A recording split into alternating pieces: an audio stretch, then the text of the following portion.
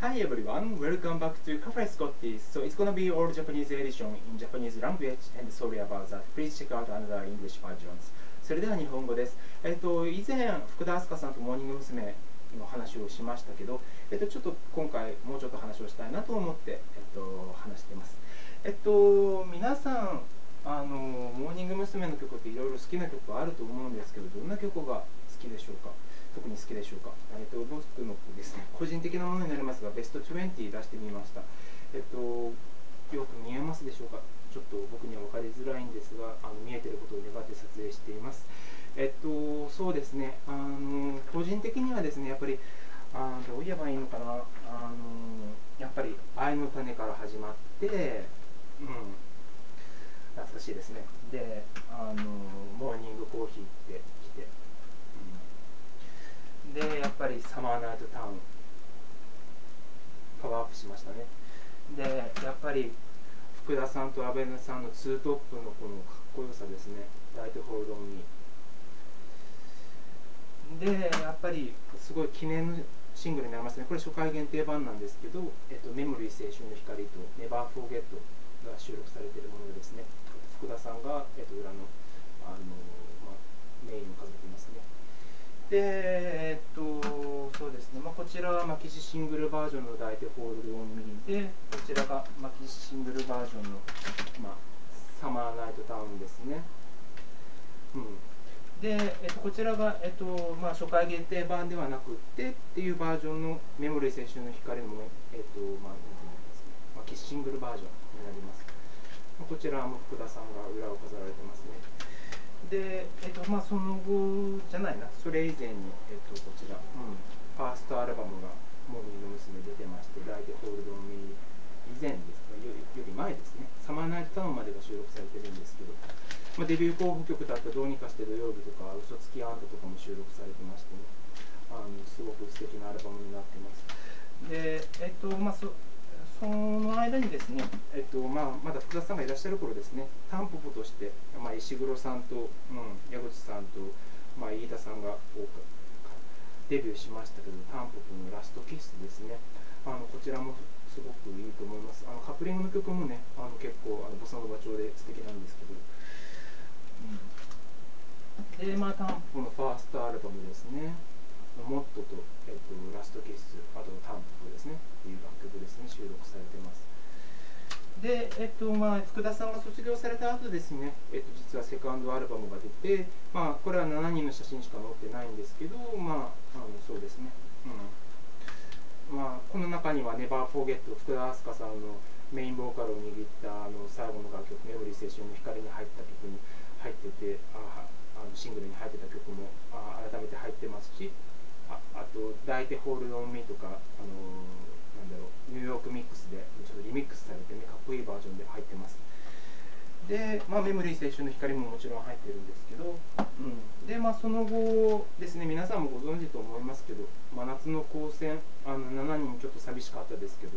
まあ、今になって聞くと結構素敵な曲でね。当時は正直アーティスト路線だったのでえちょっとアイドルっぽいとか思ったんですけど、まあ、これはこれで今から聞くと結構爽やかで素敵だなと思って。あの石黒さんの曲とかね安田さんの声とかすごくいいですよね。あとですねやっぱり当時から大好きでしたこのあの、うん、ファーストコンサート平家道夫さんとのコンサート。ファーストコンサートですね。懐かしい嘘つきあんたとかどうにかして土曜日とかあとサマーナイトタウン愛のためあのモーニングコーヒー収録されてますね。あのこのこれ当時から好きでした。でビデオを撮ってあります。でメモリー青春の光ツアーですね。あと福田明日香さんの卒業脱退の時のとコンサートですけどもこれも本当に感動的で今でも大事に撮ってあります。ビデオですけど本当に大事に撮ってあります。であとですねあのこれ、まあ、ご存じない方もいらっしゃるかなもう今の年代あの時代になるとね。レーザーディスクって言って、まあ、レコードと同じサイズですね。今の DVD よりは画質が劣るんですけどビデオよりいいみたいな、まあ、レーザーディスクっていう大きなバージョンの DVD みたいなものが当時あってでそれの、えっと、ファーストコンサートを収録したものですね。こちらは後になるんですけど一応購入して持ってます。であと、うん、メモリー青春の光ツアーの、うん、DVD バージョンも持ってますし、まあ、これ結構見てます。今でもですね。であとファーストコンサートこちらもよく見てます。でまああのね福田さんと石石黒さんはあそう石田石黒さんももう卒業してましたね。福田さんと石黒さんが残念ながらもういないんですがベスト版がねあの DVD も出ましたので、まあ、ビデオでも当時出ましたけどこちらやっぱり大事に持ってます。でやっぱり大体フォールドミーのねツートップかっこいいなと思いながら見たりします。であとこちらですね。あ、まあ、タンポポの、うん、ベストアルバムっていうか DVD になります。でもこちらには当時の石黒さんも含めたあの映像が結構収録されてるので大事に撮ってあります。でですね話を戻させていただきますけど、まあ、ちょっと見えますでしょうか。これこちらが僕のベスト20でベストね。やっぱりその、どうしてもラブマシーンとかから知った人なんかはねとかそこから特に好きになったって方はそれ以降の曲が多いと思うしあのもちろんその後素敵なねメンバーとかあの曲とかたくさんありましたけどたくさんいらっしゃいましたけどやっぱり僕にとってモーニング娘。って最初アイドルっていうのアイドルが悪いって意味じゃないんですけどアーティストっていうイメージがあってだからかっこいいみたいなで特に福田さんのその歌唱力には当時、まあ、あの他のビデオブログも見てほしいんですけど本当に。あの圧倒されてですねオーディションの段階から当時彼女12歳12歳で中1になったばっかりで121314って年齢重ねていった中であの山口百恵さんみたいなこうオーラがあって歌唱力素晴らしかったしダンスもうまいしかっこよかった。であの彼女のツートップのねあの安倍さんとのツートップのあの抱いてホールドミーなんかも素敵でしたし、うん、本当抱いてホールドミー素敵でしたしね。あのかっこよかったし今でもよく聞きますしあのプロモーションビデオにも見ますね。であのビデオでね録画した当時のテレビの映像なんかも抱いてホールドミー見たりもしますし時々ね。あとやっぱりあのサマーナイトタウンも石黒さんとのあの福田さんと阿部さんのこうスリートップみたいなあれもすごくかっこよかったと思います。で、えっとまあ、僕がだからもうそんな感じなんで、まあ、どっちかっていうと選んだ曲が初期の曲が多いんですね。例えば1位が「抱いてホールドオンミー」2位が「サマーナイトダウン」で3位がまあ福田さんの卒業の「メモリー青春の光」で4位がメモ、えっと、福田さんのあの、うん、ソロというか、まあ、メインボーカルをね務めた「ネバーフォーゲット」それから5位が何て言ってもあのインディーズ時代の「愛の種」ですね。あと6位がまあタンポポとしてですけど「ラストキッス」7位があのデビュー候補曲になってた「嘘つきあんた」で、えっと、8位が「Do It Now」というね、まあ、かなり後の方の曲ですけどこれは結構あの初期を思い出させる曲でいい曲だなと思って好きです。であと9位が「恋のダンスサイト」実はラブマシンより恋のダンスサイトの方が好きなんですね。で10位が、えっと、メモリー青春の青春の光が3曲入ってたんですけどカラオケ以外にですねオリジナルカラオケ以外。に、えっと、その中に収録されてた「ハッピーナイト」っていう、まあ、当時結構ファンの方は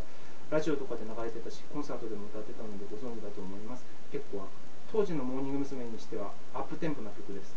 であと11位にまあモーニングコーヒーが僕の中で入ってきて12、13位がですね別のバージョンの抱いてホールドオンミーあの3全部で4バージョンぐらいあると思うんですけど僕が次にあ、まあ、シングルバージョン以外で選んだのが12位のニューヨークミックスですね。セカンドアルバムに収録されているちょっとかっこいいアレンジのバージョンです。で13位が大体ホールドミーの多分ちょっとこと名前が違ったらごめんなさい。アリーバージョンみたいなそんな感じで、まあ、あの安田さんのソロが多いバージョンです。ねこちらがマキシングルバージョンに収録されていてこれも結構あの安田さんの歌唱力が良くてあのかっこいいです。で14位真夏の光線。で15位がミスタームーンライトですね。やっぱりあのちょっと宝塚風ブロードウェイ風ちょっとかっこよかったですね。で後ろに外国人のねあの方のあの、まあ、演奏の様子とかがプロモーションビデオでも映ってて結構面白い映像になってます。あえっとその次ですね16位がもっと、えっと、タンポポのセカンドシングルですね。まだ石黒さんがいらっしゃった頃です。で17位がザ・ピース、えっと、石川里香さんのね、あのセンターの曲で結構いい曲ですしね。で18位がどうにかして土曜日こちらがデビュー候補曲他のデビュー候補曲ですね。で19位が例えば、えっと、こちらがまあ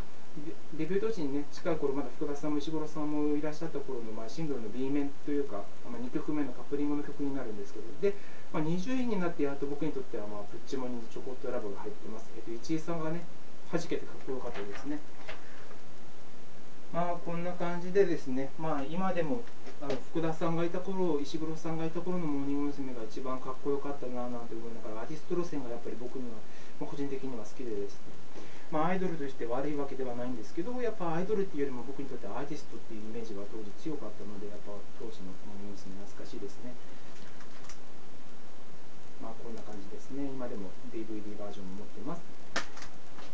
えっと、それでですね、えっと個人的にあのアーティスト、ミュージシャンとしてっていうか、シンガーとしてですね、まあ、ボーカリストですね、として好きな、まあ、モーニング娘。の、まあ、元メンバーの方たちのトップ5を個人的に出させていただきました。やっぱりもう不動は福田明日香さんですね、もう歌唱力がずば抜けてる。あの今でも活動されてますけど、本当にあの戻ってきて嬉しいなとも思いますけど、本当になんかもっとあの、ね、初期の5人8人の頃のメンバーが全員揃って